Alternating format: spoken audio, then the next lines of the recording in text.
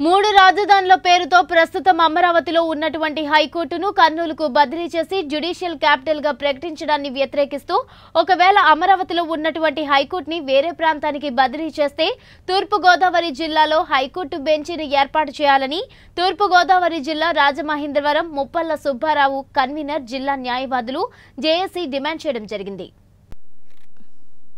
అంతేకాకుండా అభివృద్ధి వికేంద్రీకరణలో భాగంగా తూర్పుగోదావరి జిల్లా అభివృద్ధికి ప్రభుత్వం కృషి చేయాలని జిల్లా పట్ల ప్రభుత్వ వివక్షత విననాడాలని కోరడం జరిగినది.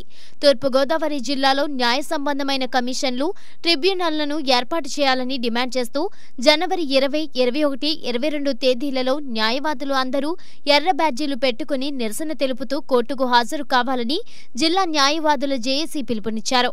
జనవరి ఇరవై మూడున పెద్దాపురం బార్ అసోసియేషన్లో జిల్లాలోని అన్ని బార్ అసోసియేషన్ అధ్యక్ష కార్యదర్శులతో న్యాయవాదుల జేఏసీ సమావేశం జరుగుతుందని అనంతరం చర్చించి తదుపరి కార్యాచరణ రూపొందించడం జరుగుతుందని తెలియజేశారు.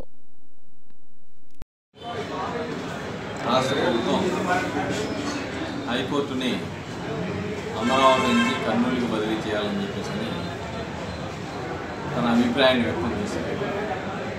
ఇక్కడ చాలా స్పష్టంగా చెప్పదలుచుకున్నాం.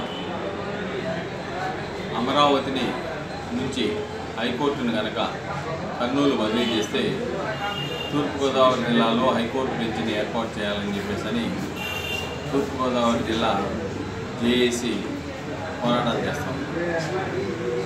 అదేవిధంగా తూర్పుగోదావరి జిల్లాలో కమిషన్స్ కానీ అడ్మినిస్ట్రేటివ్ ట్రిబ్యునల్స్ కానీ ఏర్పాటు చేయాలని చెప్పేసి అని తూర్పుగోదావరి జిల్లా జేఏసీ డిమాండ్ చేస్తూ ఉంది.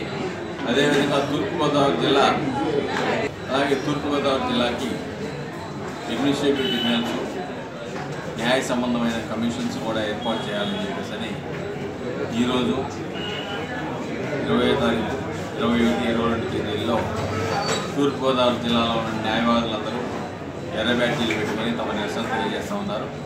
రాష్ట్ర ప్రభుత్వం తన మొండి వైఖరిని వెన్నాడి తూర్పుగోదావరి జిల్లా పట్ల వివక్షత వెన్నాడి అభివృద్ధికి కృషి చేయాలని చెప్పేసి తూర్పుగోదావరి జిల్లా న్యాయవాదులు డిమాండ్ చేస్తూ చెప్పండి సార్. ఈ పేరు చెప్పండి సార్. ఉప్పాల సుబ్బారావు తూర్పుగోదావరి జిల్లా లాయర్స్ చేసి